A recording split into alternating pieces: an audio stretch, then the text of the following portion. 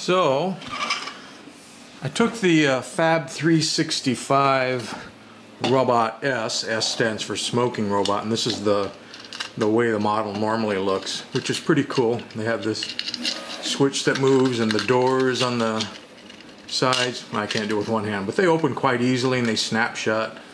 Pretty cool model, head turns. And sort of like I did with the Robbie back there. Remember Robbie? I uh, wanted to motorize one. In this case, I also wanted to add a lit eye and uh, the top of the dome lit. So I first started by scaling. This model is actually 25% larger than than the stock STL file, so I printed it up 125%. So the first thing I did was make the new legs so that I could run the push rods in it so the legs would be uh, fastened on solidly. And of course, kept the moving dial. But um, one thing I forgot about when I was doing my legs is I made the feet like the actual smoking robot. And of course they print upside down and that's an overhang. So it ended up being kind of ugly, although I was amazed that it printed because there's no supports or anything involved. So I went ahead and added the, the draft, the rounded edges like they do on all the 365 robots so it would print right.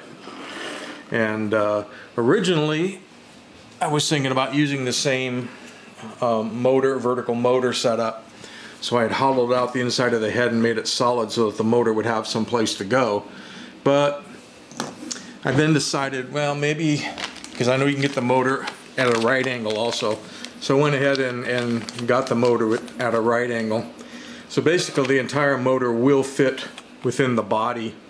It would have been a little bit better if I'd gone with a 30% increase inside because it gave me a little bit more width for the uh, wiring to the edge of the motor because they're right up against the side of the body right now. But it's all in there.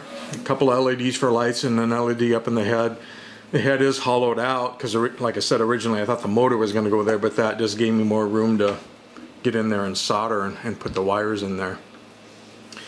The other thing uh, is the motors are sold in, in different speeds. Um, they've got a 120 to 1 ratio and a 180 to 1 ratio.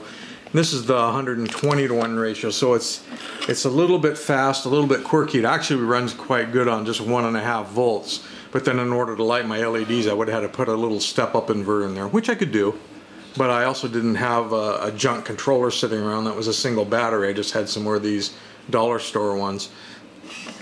So it turned out pretty cool, and you can make it walk backwards with this one. Get them around here and of course everything was still uh, still adjustable and still movable and turned out quite well between the two guys. Uh, haven't ever haven't heard anything from Fab uh, 365 about sharing the files. Unfortunately, if I ever do hear anything from about them, then I will go ahead and post the files on Thingiverse so anyone that wants to make one can. But since it's a modification of their files, it wouldn't be right for me to share them without their permission. Maybe backwards on the run. Come on, Robbie, come forward. Mm-hmm. You walk them both backwards. There we are. Goodbye. See you later.